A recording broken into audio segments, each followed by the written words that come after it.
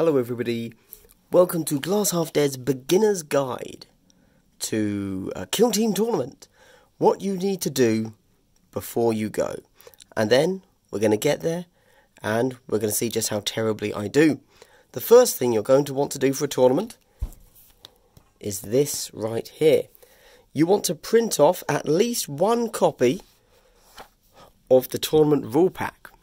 I've done that. Yours doesn't have to be in colour, obviously.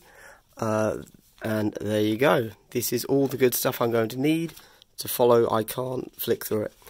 Uh, all of the rules right there. One of those pages is going to have your secondary objectives. I would recommend printing out two copies of secondary objectives because chances are good your opponent might need to borrow one. Even though it says in the tournament pack that you should be printing this off and bringing it, dodgy, you know, not everybody does it. The next thing you need to do is decide which faction you want to take. Now, obviously, here we have some Necrons. I consider them my mainstay, but um, there are other things to consider as well. Uh, this might take a while.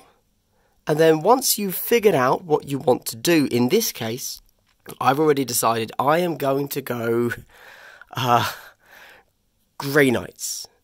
Why Grey Knights? Fair question. Oh, I can't find the box. Crap. Um, two reasons. One, because I find that they are a super swingy army, and in a tournament perspective, that's kind of not great. Because of that reason, I think I'm not going to be playing them anymore, but I have made some beautiful models that I really want to show. They're fully painted, etc. So this is going to be my last tournament showing of Grey Knights, I've decided. So once you've decided that, you then want to print out two copies of your entire roster. There you go. A stunning roster. For anybody curious, um, this is really only about five, six, maybe seven models. Uh, these three incinerators, these three cannons, these three silencers are all one model. Um, it's just depending how if I want to take them on their own or with another gunner, uh, whether I'm taking a demo or a veteran or a heavy for each of the different ones, or if I'm already taking a combat and a zealot from my regular Grey Knights and I want to run them as a normal so that they don't have a spec. So the top half of that is basically two models uh, plus leaders. Uh, and then I've I've put in because I have so many slots, I have enough spaces that I can do a, a full demon hammer time, uh, you know, hammer time list. So I could take my leader with the demon hammer, and then a combat and a zealot. If I really want to go nuts, I can do that. Uh, but generally, my list is actually going to be, and I'm going to tell you now because I think for ev probably every match it's going to be uh, Justicar, leader, Nemesis Falchions, one of the gunners. I don't know which. It's going to change depending on the enemy. Uh, and then I'm going to take a regular Nemesis Falchion, normal, probably. Uh, and then a Nemesis Falchion Zealot, Nemesis Falchion Combat, I do have the potential to take a comms, if I so desire. Not really sure. Now, what you should do that I haven't done is practice the tournament pack before you go. I haven't done that. It's too late. It's literally the night before. So just so you know, this tournament, as I said, because I'm taking the GK, I'm not really trying to win much. Um, I just want to go there, have fun, uh, if if I win, uh, you know what? I it's a five round tournament. I would like to win two games. There you go. That's my official goal. If I win two games, I'll be happy to stay in the bottom half of the rankings. No problem. Okay, let's go. And the rest of this portion of the video, now that we've done the beginner setup, everything you need to go is going to be my actual uh, opponents, the lists they play, and then a little wrap up afterwards about how the game went for both of us. Uh, hopefully, you will be able to actually hear us because uh, it's going to get very noisy in there. Right, I should probably add you're going to want to actually take your models obviously. You also want to take a tape measure. And you want to take all of your dice, tokens, measuring implements, etc. The reason I add this is because as soon as I stopped recording, I literally walked out of the room. I was about to leave without anything here. So don't forget to put everything I just talked about in your in your bag. I will not swear. How uncouth. What am I? A Tory? The other thing I would have to recommend is clothing. Make sure it's venue appropriate. What that normally means is is it going to be cold? Wrap up. Is it going to be warm? Dress down? And whatever you wear, make sure that whoever looks at you knows that you're passionate for Kill Team and that your virginity has never been taken. So, yeah, definitely get on that. We have two drones uh, who are both gun drones, uh, drone, drone face 1 and 2. Here we have my sniper demo and comms railfinder, who are obviously not cheesy at any in any way, backed up with the recon drone. Two more gun drones down here, and then a gun drone and my leader up here, uh, which is the stealth suit with the burst cannon, uh, with target lock and marker lights. Okay, everyone. Pete, Hi, how's it going? we just played Tau versus Grey Knights. How do you think it went? Uh, I think very successfully for the Tau. I think it was a decisive strategy to get tabled in turn four. That was central to my plan. Yes, yes. It's um. Let's, as you rightfully pointed out, it makes my shirt kind of not true. Yeah, that's my bad there. Um, I think one of the big issues was you got really unlucky rolls turn one. Yeah, that was a downer. That was, Um, yeah. Slightly heartbreaking, but Yeah, you know, yeah. uh, I mean, you, you killed two models turn two, Yeah. and got a flesh wound, Yeah. I think, all on the same turn? uh, or maybe the flesh so. wound was turn three. I think the flesh wound was turn one, and then turn two. Oh, okay, I find that, I, but it took far too much to Yes. get to get. the Yeah, yeah. Um, Yeah. But it was a lot of fun. It, it Yeah, was my first yeah. tournament game as well. Oh, so okay. How did you um, how did you find your first tournament? Are you were you nervous to come? Um, not really. I had very low Oh, okay. expectations. It was kind of just like I know I'm going to get wrecked, so I Okay. have fun doing it, and that, that's the only thing that matters. And, it, and if I win a couple of games, great. yeah. If I have fun, that's that's the main thing. Okay. I'm here with a few friends and my brother, Oh, so it's uh, it's nice to sort of be down and obviously the main goal is beat my brother. Obviously, that's yes. you know in a collegiate family kind of way. Oh yeah, yeah. Okay, not like physically. No, no, no, that would be Like, with a belt that- kind no, of thing. Okay. bad, But, but no, it's been a lot of fun so far. and I'm looking forward to the rest games. Yeah. Well, um, roll better. Would be my Yeah. that's That's- genuinely was my only advice Yeah, yeah, actually, okay. because you I don't think you did anything wrong. Um, you could have. The only thing I would have changed is your stealth suit. Yeah. Uh, if you had actually, yeah, if you you only had to move him Yeah. like an inch Yeah. to be on the point. I know we've had it. Yeah. Yeah, Oh, that's probably the only major issue. But that's like an inch of movement, you know. yeah. Um, but it wouldn't have made much difference in the game. in the. You would have still lost. Yeah. Yes, uh, but you know, It was fun. It was Yeah. a good game, right? and it was um, it's a nice introduction to the, to the tournament scene. Isn't it? So, I appreciate that. Thank you very much indeed. thank you very much. Plague Marine with a uh, Great Plague Cleaver. Are you making a normal uh, Plague Marine? Nothing special about him. Um, a heavy with a Blight Launcher. A leader with um, a plasma gun, Plague Swords. And a Zealot Specialist with a Flail of Corruption. And how many poxwalkers? Okay. So I'm here on my own this time because my opponent didn't want to be uh, interviewed. Totally fine. He's actually my first refusal. I'm surprised that he's my first because this is a really weird thing to ask. Anyway, so he was Death Guard and I tabled him at the end of turn three. Uh, I got some. I, I was making amazing psychic rolls the whole time. I think every every single psychic took somebody out.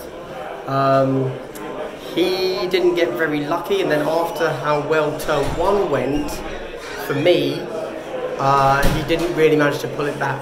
and it ended with me scoring 15, maxing two secondaries, uh, never scoring proximity alert. I, I figured he would be charging me more, um, and then he got two. Uh, interestingly, I did take Death from Afar, which I managed to max because I took an Incinerator, so he scored it twice, and then I think um, I actually scored it once with just a regular Stormbolt because I was deliberately keeping certain models alive and not killing them with an easier shot so that I could get the Death from Afar. Here is behind here. Uh, it's uh, a Vanguard Alpha. Uh, I got uh, my specialist, uh, Fulgurite a combat, a sniper with a plasma caliver, and a comms with omnispex. And then I got a Corpuscarii Electro-Priest, a Sicarian uh, infiltrator uh, with just uh, a power sword and a stubcarbine. And then an infiltrator princeps uh, with a peasant and a flechette blaster. And another uh, um, alpha, ranger alpha. Okay, here's Antonio. We just finished playing. What were we playing? Uh, Raised Archive? Was it Raised Archive? Raised Yeah. Archive. Um, you just saw his list, which uh, Admech. Indeed, yes. Yeah. How did it go? I think it was very tight. Um, My plan at the beginning was to put my infiltrators uh, uh, on front, and Yeah. it worked well because Yes. uh, uh, they got one wound uh, Each. uh, yeah. each, so they were still on the table. Um, I think uh, what really, I mean, my shooting wasn't great, but to be fair, your shooting wasn't great either. so I think that balanced up. I think I was leading uh, in Patron Yes. 1, Patron Yeah, 2. yeah. What changed the game, I think, was um, my Corpuscarii uh, on the three. objective, Yeah, yeah. three, uh, that got shaken. It needed uh, up to four and it rolled this five. Yes, Got yeah. shaken, that lost me the objective. Yeah. And they gave you uh, extra points, uh, primary points. And at the end, um, my leader was. Uh, uh, was doing the evaluate fine and again got shaken uh, and that lost me a couple of points as well um, because it would have been on that objective Mm, Yes. so I think that was uh, it was a very close game it was a very very good game I really It was. it I think for you, I had a really good first turn. You positioned your infiltrators really well, so my cyborgs didn't do anything. Mm-hmm. Well, you know, they took a wound each, but then I managed to kill both infiltrators. Yes. Turn one. Yeah. That's obviously really big. Um, and the other big thing, turn one, your little, uh, you know, the, the standard plasma caliver comms or spe- uh, omnispex didn't get a kill turn one. Yeah. I think it got a kill every other turn. yeah, or at least I, I- two. the two, Um, I got two kills uh, Yeah. over the four rounds. Um, But you failed turn one. You only got a flesh wound. Exactly. Yeah, that So, was that was big. Yeah, but I think you know the two guys that got shaken on the objectives that what really gave you the extra Yeah, points. Uh, because Until then, then, again, I thought you were going to win. Even though I was killing your models, I was like, I can't come back from points. Yeah. But yeah, you managed it in the you know, it, I could have killed someone else, you know, with my plasma, but you could have killed uh, Yeah, a little sure, bit more yeah, with yeah. your, so it sort of, sort of balanced out, Yeah. you know, on the. Yeah. But it was a it was an exciting game. Yes, thank really you. Have good one. Yeah, so I've got um, four regular Guardian defenders. One, two, three, four. Leader, Storm, Storm Guardian, Howling Banshee Exarch. Uh, this guy's an Exarch as well, Dire Avenger Exarch. Two fusion guns, Star Cannon, and bombs. What's the Howling Banshee have? Uh, so this guy is a veteran, and this guy is a scout. Okay. Okay. Pete here, we just played as the Omnibus. Grey Knight. How did that go? Went pretty well for me. Um, Yeah. I think uh, I've heard you done well. First couple of games today, beating Tau, beating some big lists. Yeah. I think you just burned all your sixes and fives, and you know, like I good on that. Yeah, no, First I, games. I, I definitely did. Yeah. And uh, they all turned up for me first turn. I say first turn. First turn, lost one on perils and one to true catapult, and you know you can't bet on that. So uh, Uh, and Banshee. Yeah. And so Banshee, I, yeah, so I lost three to one. yeah, Um, I broke turn one, and one of my guys that was on a point shook turn one. yeah. Um, And then you back. level to a six and fusion is yeah. yeah, well, yeah, but that, that was fine. I'd give it up at that point. Um, so you max scored. Yeah. I scored zero. Um, as I was saying, I had I had assumed some of my games were going to go that way. Yeah. Uh, so it's not really that big of a deal. Um, but you are a regular spar partner. Yes. So would it be nice if it hadn't been against you? Well, that's the way it goes. Yeah, I mean, I was really favourite this matchup, especially after you'd um, cleaned up today. But, Yes. um, but Yeah. yeah, I, Grey Knights are swinging, any of these team is swinging, and uh, swinging. That's the way it goes. Yeah, awesome. Thanks. Good game. So 10 men, Twistbray, leader, sorcerer, combat, Ray Horns out, Rubric Flamer, veteran, six angle. Daniel, we just played Grey Knights versus Thousand Sons. How did that go? Um, just like it went badly. Very badly. So, a fair few guys out the first couple of turns, so. Yeah, so I managed to deny every psychic you had. Yeah. Uh, you, you did only take a sorcerer though, so you weren't doing Yeah, two. so I only had one psycho. Um, I I had wanted to use kind of rubbing salt in the wound here, sorry, but I had really wanted to use the new Grey Knights tactic where if you deny um, successfully, they take a mortal wound. I didn't. Ah. I'd always used uh, CP by that point. Um, And I've had the sorcerer, I could have had two wings for that as well. yes, that's true. That's The, true. the scarab one. Yeah. Um, how how did it go? The, the 40 points is quite painful, that's uh, Yeah, yeah. the guys. No, definitely. Uh, I think at 100 points, it's a bit of a fool's errand taking that, uh, taking the sorcerer, uh, the scarab sorcerer. Uh, so I I won, um, quite decisively. I think I I didn't table you. You had one guy left by the end, but um, Very shaken, so technically. oh well. Yeah. So turn one, it was actually really close. Turn one, yeah. I, you killed my um, my incinerator. Turn Yep. one. I Uh, had the three objectives, and the flame was still Yes. alive at that point. yeah, yeah. Um, so I was really concerned, but then turn two, I managed to get a successful cipher, killed your warp flamer, Yep. um, and also a random Tzaangor. Yeah, and then I did think the next numbers. turn, I killed your your sorcerer Yeah. and another Tzaangor. Did I kill two guys every psychic turn? Really? Oh, you got um, two or three 11s as well? So you got multiple wounds a couple of times. Yes. Yeah, I was rolling really well. Yeah, um, and di- didn't perils this time. In my last game, I perils. I've got perils today as well. Yeah, I- oh, I don't think okay. I managed to play thousands about periling in a tournament. Oh, really? Oh, okay. Or at least twice normally. Fair enough, fair enough. Uh, did you have any other thoughts? Did you think where you went wrong, where I went right? Or was it just I diced you, which I did, to be clear? What the I think that earlier was work going bright.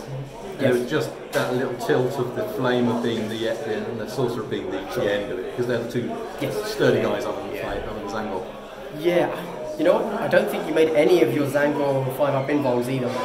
Like, yeah, you weren't I've been rolling lucky with good them there. earlier in the game, so Right. I've had my fair amount of luck with them earlier today. Okay, well, thank you very much. Thank you. Okay, everybody, and there we have the tournament all wrapped up. I managed to place third in the end with my Grey Knights, winning a total of four games. Considering I only wanted, well, wanted to win two out of the five, that's a pretty good day, and I think a really good way to retire my Grey Knights. But enough about me. Let's talk a little bit about not the tournament itself per se, you've already heard all of that.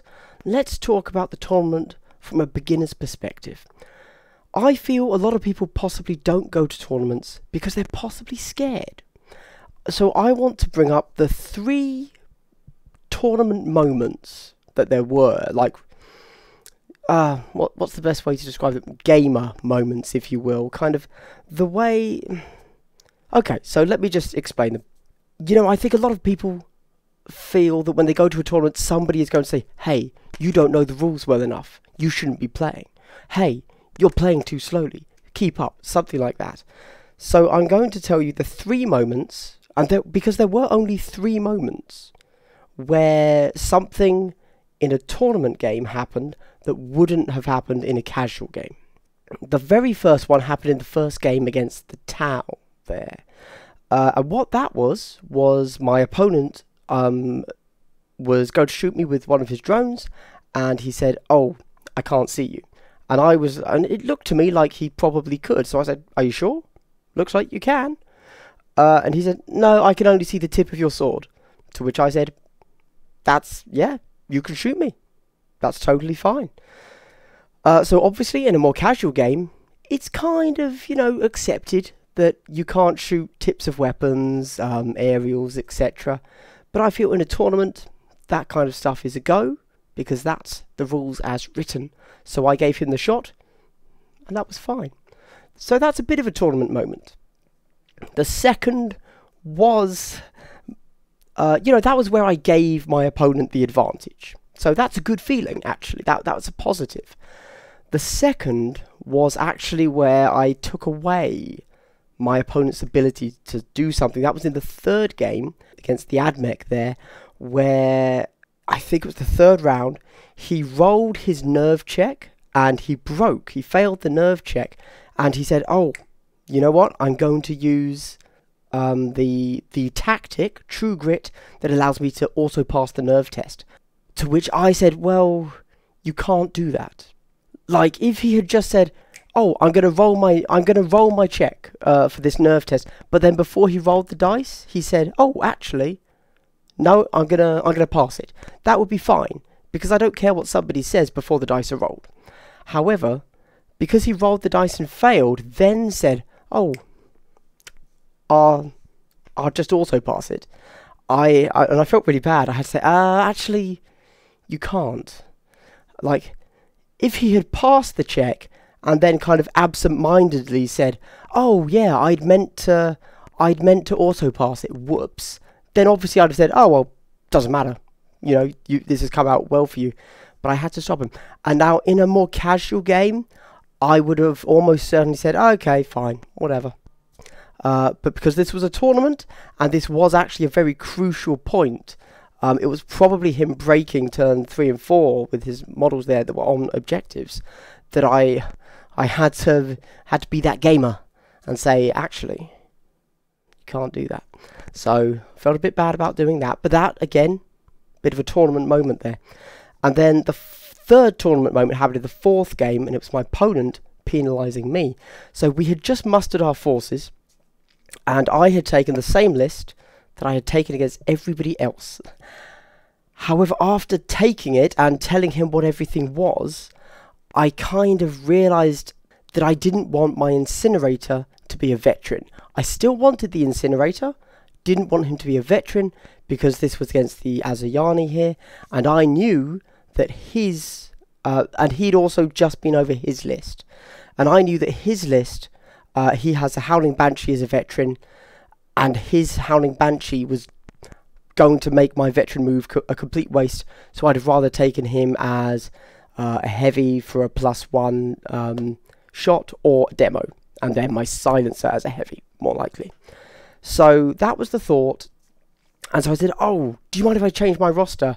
And he very awkwardly uh, kind of, uh, to which I then said, "Doesn't matter, doesn't matter," um, like that.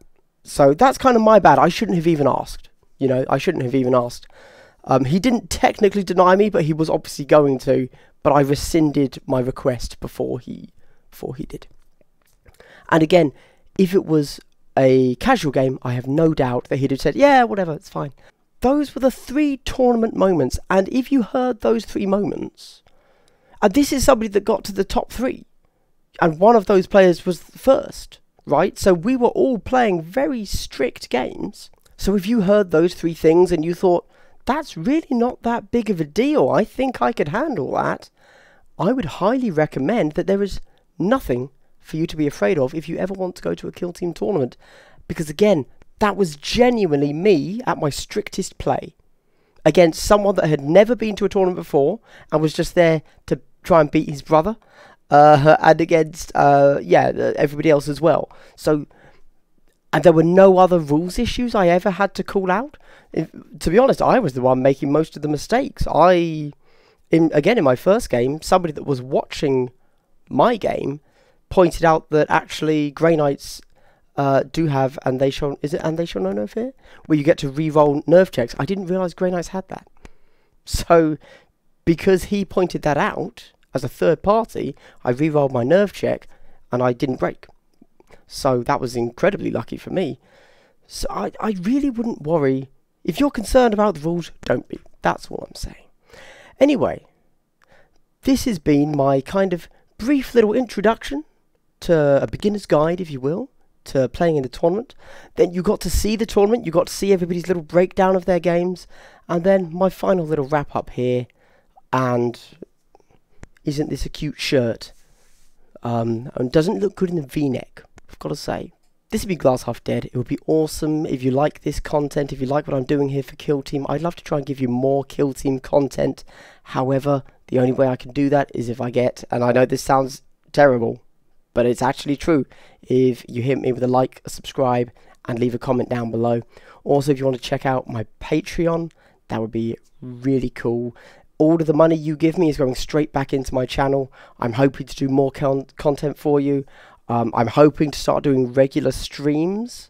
So, like on the weekend, maybe, you know, depending on how much support I get, uh, twice a week streams of live kill team with some of the players that came first, second, third there. I came third, so that would be me. But yeah, people that are winning tournaments, I want to be able to try and show you guys their casual games. See how they build a list. Take it from this is an idea all the way up to this is a tournament winning list. And you know what? Like other people, maybe Kill Team isn't your only passion. Maybe you have others. If, like me, you're into, you know, computer games, that kind of thing, I do have a second channel. I've genuinely just started it. If you want to drop over there, it's called Endgame Sata. Have fun trying to spell that. Uh, there's a link in the description. Anyway, this is Big Glass Update. I hope you've enjoyed this. If this has inspired you to go to a tournament, or if this has helped you in any way, I'd love to know. Drop a comment, that'd be great. Anyway, I hope you've had a good day. Hope you continue to have a good day. Goodbye.